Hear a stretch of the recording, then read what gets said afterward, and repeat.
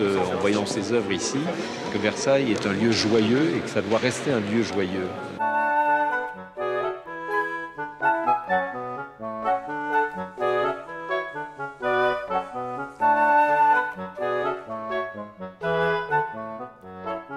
I think uh, the very good experience. So because this show is uh, how good marriage for uh, in the history.